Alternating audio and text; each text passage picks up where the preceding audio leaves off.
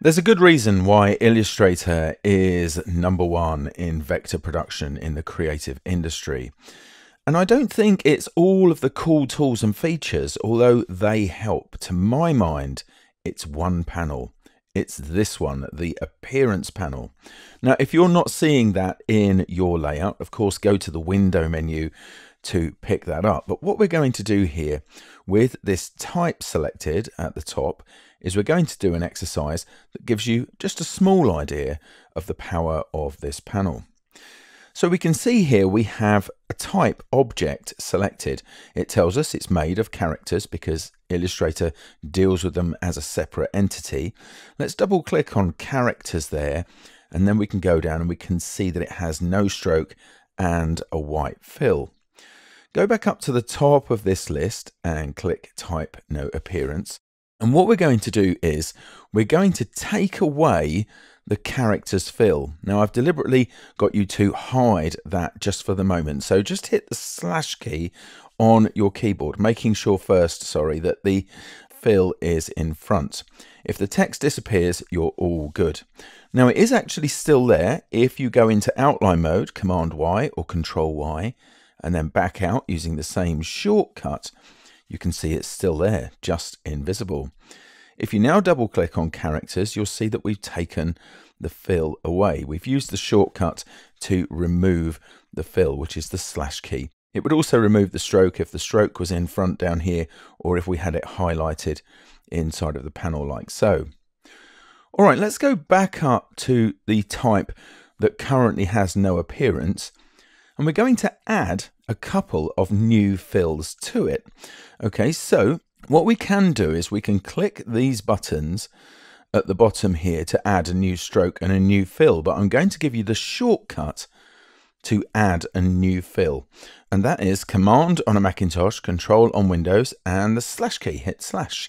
Like so, you can see we now have a new fill. Now, admittedly, at the moment it's difficult to see. We'll resolve that in just a second. And just do that one more time, and you'll notice that the fills are appearing in the Appearance panel. Now, it might be a good idea to just hop over to the Layers panel and temporarily turn off the visibility for that background. I think it will make it slightly easier for us to work just for the moment and a bit less disconcerting, of course, for you. So let's go ahead and change the topmost fill. You'll notice here we have access to the swatches panel and newsflash, if you hold down the shift key when you do that, you get access to the color panel. It really is the one-stop shop for appearances. So I'm going to choose this dark brown just here you can, of course, choose any color that you like. It's not critical for the color. And then I'm going to go and highlight the fill beneath it, and I'm going to fill that with like a sand color, something like that. This light brown here, I think is very good. Now, at the moment, you won't be able to see that because it's behind the fill on top. You'll be able to see it if you turn off the visibility for that and turn it back on. But let's make sure that this one is highlighted. And what we're going to do is apply a couple of effects. So we can do that in a few places, but as it's local to us right now, we can click the FX button at the bottom of the appearance panel. And we're going to choose to convert this fill to a rectangle.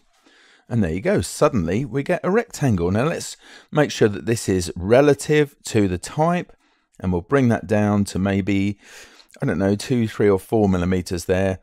And then for extra height, I'm actually going to reduce that. I think I'm going to take that to maybe two millimeters, I think works well, and hit OK. So now you can see we have a rectangle behind our text. Now, what I'd like to do is actually move that rectangle up, and I can't do that with any of the tools, but I can do it with another effect.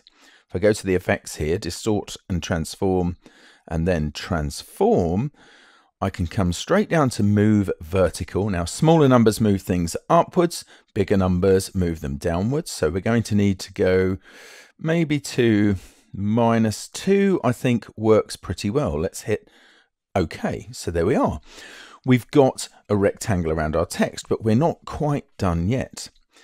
We are going to keep this fill highlighted and we're going to come down to this plus icon at the bottom which allows us to duplicate that selected effect. So we'll click on there and now we have another fill. We'll do that another time. So we've got three fills here and we're going to go to both of those. If we twirl them open using the disclosure triangle, we can see that the effects are there as well. So just dealing with the bottom two here, we're going to edit the transform effect for each one. So let's start with the one at the bottom. Click on that, it takes us through to the effect. And all we're going to do here is rotate this by one degree. Once you've done that, hit OK and move on to the next one above that and hit transform.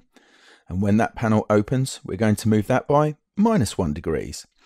And you can see how we're building out this shape. It's got a completely different appearance now. And where the real, real power comes in here is this.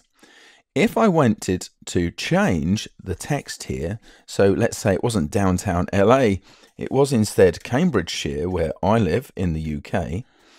That if I hit escape now to leave the text, you can see everything has gone along with that. And it sets us up for dynamic graphics, which is a really, really big deal.